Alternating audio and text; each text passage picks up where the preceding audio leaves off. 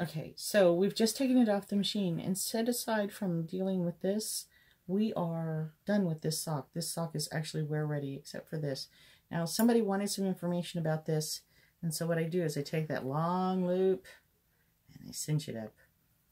And one of the things that I like to do is I like to come in and I pick up, let's see, where are we? I'll pick up this top bar here.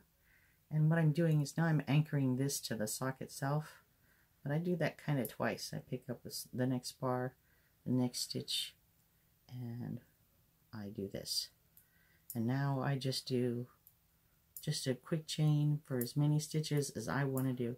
And I actually like to do a lot because the more I can do, that means if I need to come back later and I need to fix this sock, that I'm going to have a goodly little length. I'm going to have 8, 10, 12 inches of fiber to work with.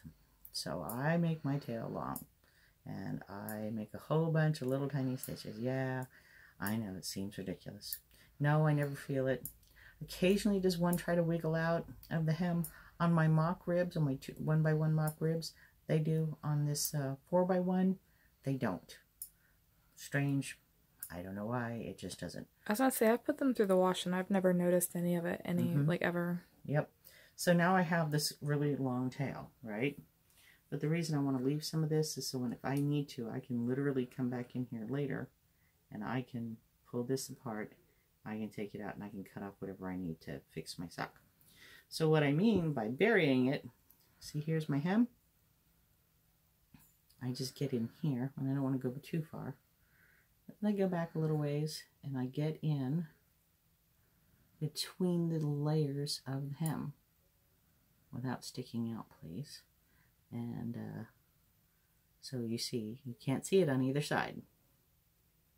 So right now I've got the hook buried in there. Now when I do this, I end up with a perfect little spot, if you can see this, right here. See that? Comes out there perfectly, right? So, pull this in and pull it out. And then I just continue to bury it until it's all gone. And when I do this and I come out in between bars like I did here, I make sure that I go back in in the same place that I came out with. So I don't end up with a loop outside of whatever.